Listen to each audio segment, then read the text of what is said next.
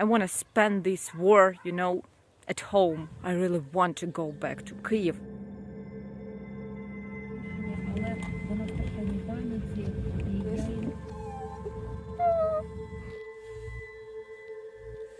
I'm a little lost, but I have to accept it. And I'm trying.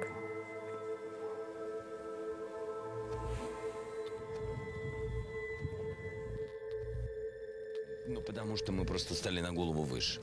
Ну, это же, не- ну, это же очень классно. It's a basic thing. I'm okay. I'm. Uh, you don't have to be worried about me.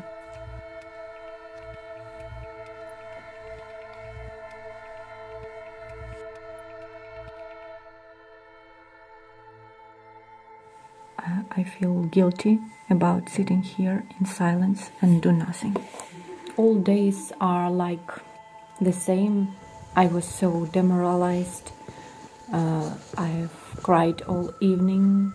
The news from Mariupol are terrible. Again.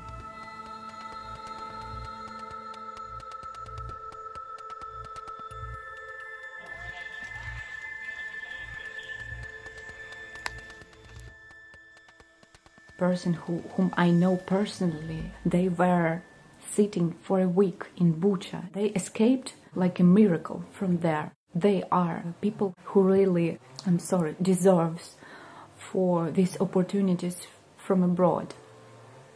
I don't. It was snowing at night.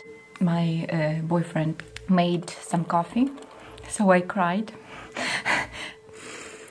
he said to me what I felt the same thing that he was ashamed of escaping from Kiev. Here we are now, and it is too quiet.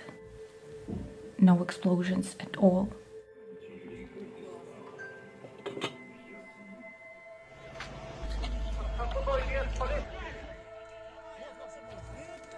This morning I woke up and realized that what I really want, you know, from my heart is to go home to Kiev.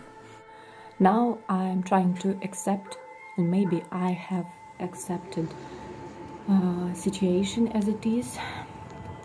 I must act like I feel, and the most important thing is to feel something now, you know. And I really want to go to Kiev.